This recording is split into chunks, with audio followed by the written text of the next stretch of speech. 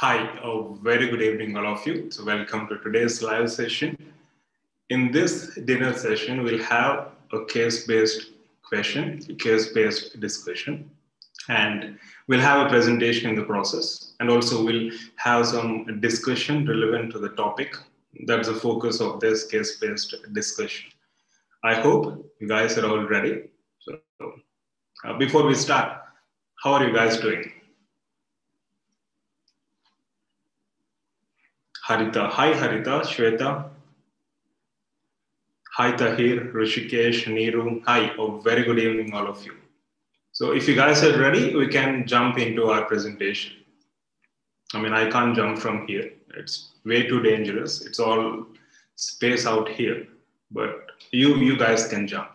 Uh, because of gravity, you'll you'll be in the place where you are sitting or standing right now. So no risk factor over there. Okay, so uh, let's start with our presentation now. So case-based discussions, of course, learning is always fun. So this is the context. We'll start with the context, right? And then we'll move on to the options. So the context is a 32-year-old male was admitted in cardiology ward after he complains or complained of uh, chest pain.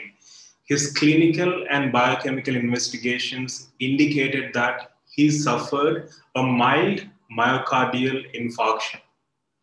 He has a family history of early heart disease.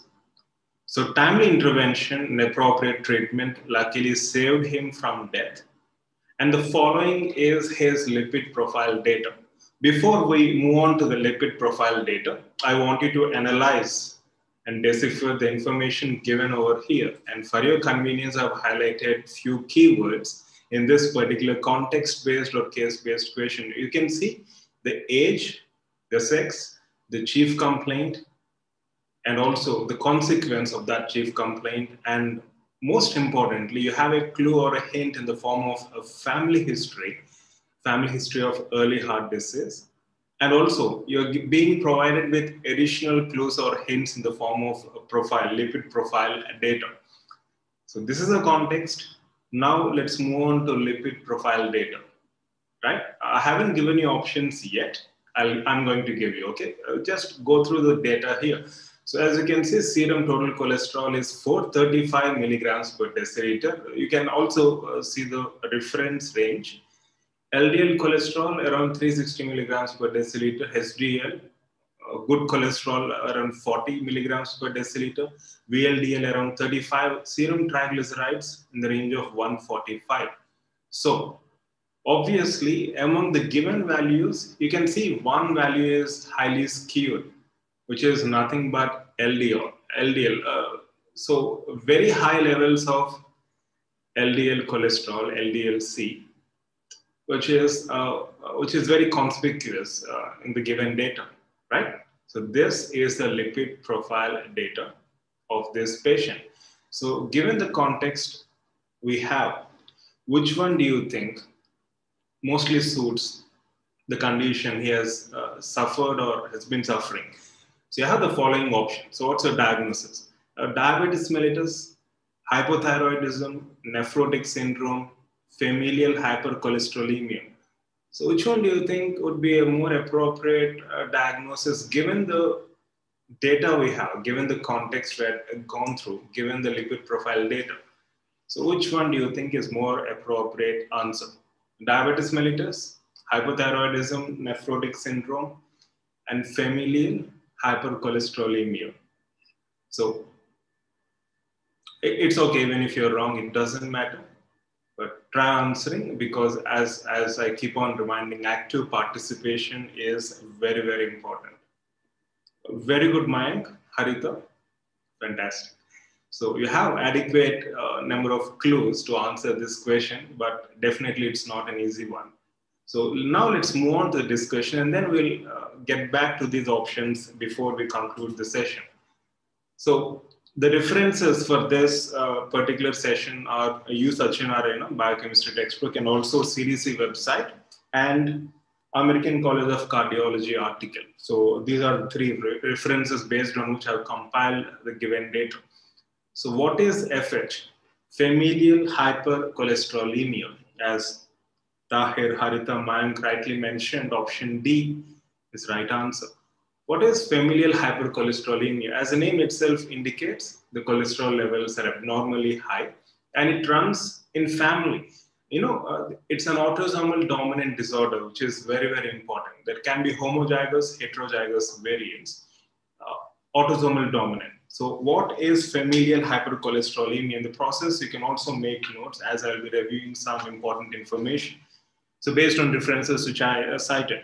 So familial hypercholesterolemia is a genetic disorder affecting about uh, 1 in 250 people and increases the likelihood of heart attacks, coronary artery disease, etc. People with familial hypercholesterolemia, as we have seen the lipid data, lipid profile, they have increased blood levels of low density lipoprotein cholesterol, LDL cholesterol. And also, it can be even diagnosed in children, and it is, uh, in fact, diagnosed at a very young age. So, as mentioned in Satyanarayana, the patient uh, in this particular context, as you can see, has elevated LDL cholesterol, while other lipid parameters seem to be in the normal range. A, a case of familial hypercholesterolemia can be suspected, which is also called as hyperlipoproteinemia type 2A. We'll get back to that a bit later. So these patients are at an increased risk of coronary artery diseases in third and fourth decades of life. That is at a very young age.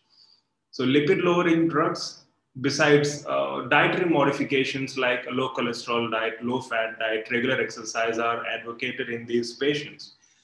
The important, interesting finding here is the reason behind this hypercholesterolemia, which is because of decreased number of LDL receptors. So we'll get back to this uh, a bit later. So familial hypercholesterolemia, as mentioned prior, is a genetic disorder uh, with a quite a good amount of frequency. One of the main signs of familial hypercholesterolemia based on lab parameters is LDL levels. Usually in adults, if LDL cholesterol levels are over 190 milligrams per deciliter, and in case of children over 160 milligrams uh, per deciliter, a couple with familial history or family history, we can suspect or we can diagnose it as familial hypercholesterolemia, right? Consider these values very, very important. Adults more than 190, children more than 160, as mentioned in CDC website. So before we move on to the clinical features, let's look into the genes which are implicated and before that, as you can see on screen, a genetic condition causing high cholesterol uh, left untreated can lead to coronary artery disease, heart attacks. You can see the percentages. In case of females, uh, the incidence is by age of 60, 30%. In case of males, by age of 50, 50%. So finding and treating familial hypercholesterolemia early reduces coronary heart disease risk by about 80%. You know, this is something which is very interesting because using electronic medical records coupled with artificial intelligence and machine learning programs, we can actually estimate the risk of familial hypercholesterolemia and uh, treat and save patients. In fact, they have done that extensively and saved several lives in the process of using combination of these electronic records, artificial intelligence, and machine learning parameters, which is very interesting. I mean, if you are really interested, you can get back through mail. I'll share more information regarding it. And on the right side, you can see various signs of, okay, it's already given here, familial hypercholesterolemia. So LDL levels over 190 milligrams per deciliter in adults, in case of children 160. Family health history of early heart attacks or heart disease, a swollen, painful Achilles tendons because of accumulation of uh, cholesterol, xanthomas, right? We'll, we'll get back to that a bit later. Also bumps around knuckles, elbows, or knees. That's fine. Now, let's move on to the genetics of this familial hypercholesterolemia. So, what are the genes which are implicated? Since we are saying it is familial, it runs in families, what are the genes that are implicated? So, mutations in LDLR gene, that is LDL receptor gene, apolipoprotein B, which is a ligand, and also PCSK9 genes. So, these are the three genes which have been implicated. Also, there are so many Yet uh, the research is going on, but mostly, as mentioned in CDC website, mutations in the following three genes. In fact, you can find the corresponding uh, proteins here. LDLC, That is LDLC here represents cholesterol. LDLR is a receptor for this cholesterol. So mutations in LDLR, apolipoprotein B or ApoB, and PCSK9 genes is implicated in familial hypercholesterolemia. Consider this very, very important. Now, what you're finding here, A, B, C, and D illustrations explain why there is elevated cholesterol level or increased cholesterol in plasma or serum. It's because of the following reasons. You can see it's a normal case scenario in illustration A. In case of illustration B and C and D, it's abnormal. When LDL receptors are lost or there is mutation, or when there is dysfunction of apolipoprotein B, which is a ligand help, which helps in carrying LDLC. Because of these two mutations, there can be elevated or accumulated uh, amounts of cholesterol in blood. Along with that, gain of function of mutations in PCSK9. If you observe illustration D, PCSK9 actually uh, carries this receptor into the hepatocyte and leads to its destruction. So gain of function of PCSK9 leads to elevated cholesterol levels or loss of function of LDLR or uh, lipoprotein B also leads to elevated levels of cholesterol. So no matter what the reason is, the ultimate result is increased levels of cholesterol as we have just seen LDL abnormally rising. So consider this uh, understanding. The the, the reason behind this hypercholesterolemia is very, very important.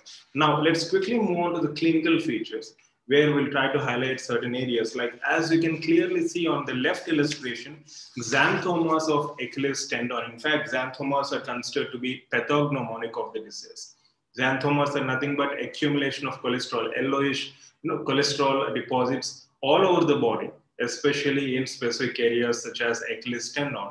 And also there can be accumulation of uh, these cholesterol deposits, lipid materials, fat materials around the iris in an arch shape, as you can see, corneal arcus. So this is this finding is called as corneal arcus. Consider this very very important. And along with that, there can be xanthelasmas, that is cholesterol deposits, as we discussed now in the eye, eyelids, skin, etc. Right. So these are some of the clinical features associated with familial hypercholesterolemia. And this is one interesting finding which I uh, came across in CDC website, linking COVID-19 with familial hypercholesterolemia. In fact, there is a positive correlation in the sense those with increased risk of heart attacks are obviously more susceptible to the effects of COVID-19. So let's review some information. So you can go through the second line. People who have serious heart disease are among those more likely to have severe illness from COVID-19. So they're more susceptible. If untreated, people with familial hypercholesterolemia are up to 22 times more likely to have coronary heart disease than those without familial hypercholesterolemia. So as I said, early diagnosis is very much essential in saving these patients, literally from death. Okay. So this is another interesting finding which I have come across in regard to this. Now, coming to the options again. So you've seen the context, you've seen the lipid profile, you've answered this already. So which one do you think is more appropriate answer? As most of you rightly answered, it's hypolipoproteinemia type 2A or familial hypercholesterolemia. Why did I mention it as hyperlipoproteinemia type 2A specifically here? Because there are different types of uh, lipoproteinemias, hyperlipoproteinemias, of which type 2A, there is drop or decrease in number of LDL receptors as a consequence leading to elevated LDL, right? What about other types of hyperlipoproteinemias? We'll get back to that a bit later in the form of homework question, right? So these are some of the topics associated with uh, familial hypercholesterolemia, which I wanted to highlight in this specific video. I hope you got the gist of this presentation, right? Okay, now before we conclude this session, I have the following questions for you, and I'm sure you have uh, you have found out the answers for the previous session questions as well. So the first question is, you can consider this as homework question. The first question is, what are different types of hyperlipoproteinemias? In fact, we have seen that this is a case of familial hypercholesterolemia in specific hyperlipoproteinemia type 2A. What about other types? So try finding out. Second question, you've seen other options, diabetes mellitus, hypothyroidism, nephrotic syndrome. Do you find hypercholesterolemia in other options as well? Try finding out. Third question, well, you've seen a clinical picture of corneal arcus, which is also called as arcus senilis, senilis, arcus senilis or corneal arcus. Does this corneal arcus affect the vision of the patient? Does it affect? Yes or no? So try finding out. And finally, one of the most commonly asked questions, and I'm sure almost all of you are familiar with this, but try exploring this once again. The fourth and final question, what is good cholesterol? What is bad cholesterol? You know, LDL, which we're talking about, is considered as bad cholesterol. Why? And why HDL is considered as highly desirable, okay, but not legal. So try exploring the, uh, this particular question as well. Okay. So four questions. You can consider it as your homework and uh, try getting back tomorrow. We'll, we'll start with these questions. I mean, you can uh, post your answers and then we can move on to the next case-based discussion, right? I hope it's clear. So in the process of this entire discussion, we have seen what familial hypercholesterolemia is all about. And also we have seen various signs, clinical features, the reason behind FH, familial hypercholesterolemia, and the genes which are implicated, we cannot ignore genes, right? And also, finally, we have also seen in the process the lipid profiles, and finally, the treatment part, as mentioned. You know, lipid lowering drugs, hypolipidemic drugs, which you are familiar with, along with that, dietary modification, lifestyle changes are also very important. Regular exercise, uh, food, which is uh, filled with low cholesterol and low fat is recommended as mentioned in Satyanarayana, right? So these are some important relevant points pertaining to familial hypercholesterolemia. I hope it's clear. And if you have any queries, you need any further clarifications, uh, please feel free to get back through mail 24 by 7, right? All fine. So shall we conclude the session in that case? Okay. Okay then. I'll see you again tomorrow at 8 p.m. IST. So keep working, keep giving your best, and most importantly, believe in yourself. Good night.